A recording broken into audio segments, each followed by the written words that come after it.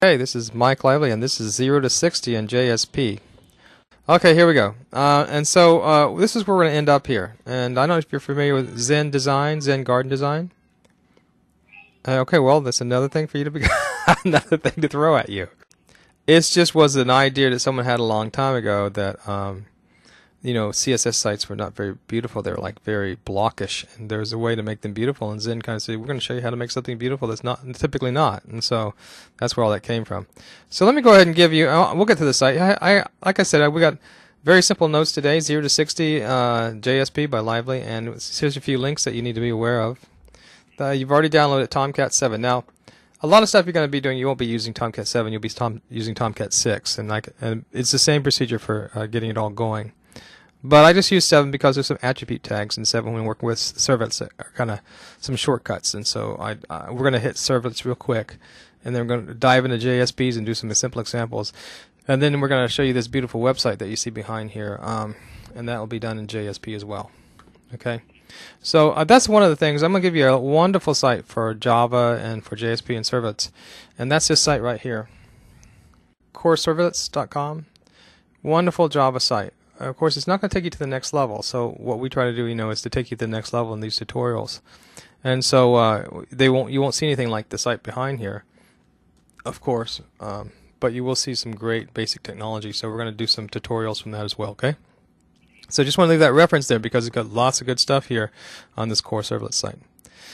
And so uh, basically, you've downloaded um, Tomcat 7 and and you've downloaded uh, Eclipse JE Helios, right? And uh, we're going to get that all stuck together in the right place. Now, what I find out is a lot of people end up what they do is they get it just all over the place and they forget what Tomcat server they're using, and you know, and, and what I would like to do is just put it all in one folder, so you know where everything is. Okay, and that's why I wanted to go ahead and let, do the install with you, so you can just see where to put it all, and then get it all running, uh, and get your servlets and JSP pages running. Uh, and uh, like I said, the two websites too that we'll be referencing today, of course, are the Core Servlets and also the Zen Garden. All right, and this is where we're going to be headed. We're going to make a beautiful uh, uh, JSP site that looks like this. Okay. Okay. Good. So what I want you to do is, um, first thing I want to do is you're going to unzip your Eclipse and you're going to put it on your uh, C drive. And let me show you where I put mine. Now Eclipse doesn't really have any uh, big install, and so um, uh, let me just step back just real quick before we get too far ahead of ourselves. You know, for those people who are watching online, I should, since you've already downloaded this, first thing you're going to want to do is go ahead and get the Tomcat server. All right, and let me go ahead and just take you to that page real quick. Right, we did that a few lessons back. We looked at Tomcat 6, and just for uh, exercise purposes, we're going to look at the Tomcat Server 7 today. So go ahead and download Tomcat 7 from uh, the tomcatapache.org page. And I went ahead and downloaded the 64-bit. Uh, Is that what you did? Zip and... Mm-hmm. Okay, then you want to use the 32. I had a 64, so I downloaded 64. Good, so you got that downloaded, right? And then what you want to do is go to the Eclipse page and download Eclipse. And let's go to that page real quick here so everyone can see that. And you want to make sure that you download uh, this one right here, Eclipse IDE for J Java EE developers, right? And and you want the uh, it's called Helios is what it's called. So that's the one you want. And so what you want to do is once you download it, there's no install for Eclipse. You just want to unzip it and put it in the C drive. So what I did is I went over to my drive, and I'm going to bring this down so you can see all this. And I'm going to right click on here. And I went down to uh, just to my C drive. Okay, and I created a folder, and I just called it, uh, just to make it easy for myself, Eclipse Helios. Okay. And so that's what you want to do. And then what you want to do is just unzip Eclipse into that folder. All right. So let me pause the video and go ahead and have you do that.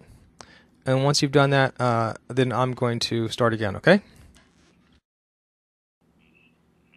Tess, thank you so much. I appreciate it. Okay, so we're back, and what I, I want to show you is make sure that you set up your workspace correctly. And, and, and I think this is pretty much kind of a, a good practice that I'm, presenting to you. So what what I've, I'm suggesting is you do this, and I'm going to open up the Explorer, and we're going to take a look at my Eclipse. So you take the Eclipse uh, and you uh, unzip it on your C drive. And so let me do that because Eclipse has no special install. Basically, it's just you know uh, you unzip it and then you link to the executable. And so I, I just created a folder called um, Eclipse Helios. That's what I called that. And so if I unzip that, or excuse me, open that up, uh, I also unzip the Tomcat server and I put it right there. Okay, so you can see I got the Eclipse Helios unzipped right here, and the Tomcat server is right here. And so I won't lose that Tomcat server. So what a lot of people do, they'll just put the Tomcat server anywhere and they link to it, which is fine, but it, you can lose it. And so you, and if you do like me, you've got you know seven, eight, ten ser- different servers running on your machine.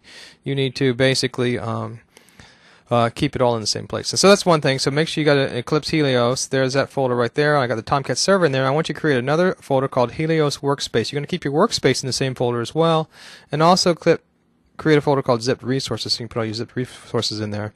And all those resources I mailed to you, go ahead and put in that folder right there, okay? And you'll be good. Now everything's together. You're not going to lose anything. And when you save things, the, the workspace is right here. So that's that's a good practice. And believe me, I've done so much programming that I, I've learned painfully. This is the way you want to do this. Now, if you only do uh, three programs in your lifetime and you're using Eclipse, you know, occasionally, you're okay. But if you're just literally working on hundreds of things like I do, you're going to end up uh, having to, you know, tighten tighten up your work your workflow. So once that's done, you want to go ahead and open up Eclipse. So go ahead and make sure you make a shortcut here, and I called mine, I believe, Eclipse Helios or something like that, and put that on your desktop so you can click right on it. And there's mine. I called it Helios. So let's click on that, and up comes my uh, uh, my uh, Eclipse. Um, not the Helios version. Now, when you have Eclipse Helios workspace, when, when you get Eclipse starts to come up, it wants you to browse the workspace. So make sure you browse the workspace that you created uh, in your uh, Eclipse Helios folder, and that way everything is kept together. And go ahead and accept that and open up that workspace. Hit OK, and Eclipse will open up. Oh, I think we're running several versions of Eclipse. I mean, and there's a new PHP Eclipse out, which, by the way, is going to be great. I need to check that out.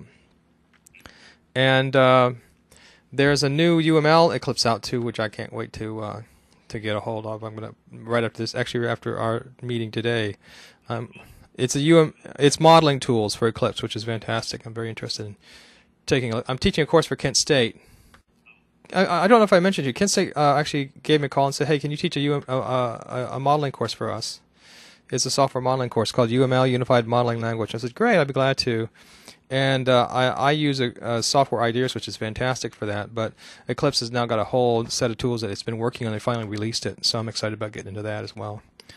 So here we go. Where we've got, I've got a bunch of folders I created. You don't have anything yet, so we want to import some files. So again, just follow me step by step. Uh, and matter of fact, maybe I should just delete some of this stuff and uh, reinstall it, so you can follow along. Let me delete these folders. Now, when you delete, if you want to delete everything, delete the that as well. And uh, now I don't want to delete everything. I'm going to screw it up. Here, let me do this, Porter. I'm going to do this. I'm to create another workspace in my, and I'm going to navigate to that workspace. So I have a blank screen that looks just like yours, okay? Let me do that. So if you, if you fill up your workspace and you go, man, I, I need more, more, more room, you can always create another workspace. So I'm, let me show you how to do that. So just navigate to your folder and open up your Eclipse Helios and just create a new folder, call it uh, Workspace 2, for example and then I'm going to actually navigate to that and that will be blank and so we can start from a blank slate. Okay, so I'm going to open up this and, and as opposed to closing and opening Eclipse I can actually uh, change the workspace here, switch workspace and go to other and I'm going to browse to that other and let's bring that here workspace 2 right here and let's open that up and then Eclipse will open and close and I'll be in the new workspace. I don't know if you and, and that's was one of the differences between this and, and Flash that first got you off when I, I mean years and years ago when I was learning Eclipse. The first thing I was trying to learn out, well, how do you create a folder? How do you create a file? Because in Flash, you know, you create a file and you just save it somewhere. But in Eclipse, you need to actually create a whole workspace, and then you can save things into that workspace. Okay, and that's the first thing you want to do. And then I'm here in Eclipse, so I can go right to the workbench, and now I've got a blank space just like you do. Okay? And there's a few things we need to do and uh, a little bit of housekeeping, so we're going to do all that. Let me squeeze this a little bit so you can see it.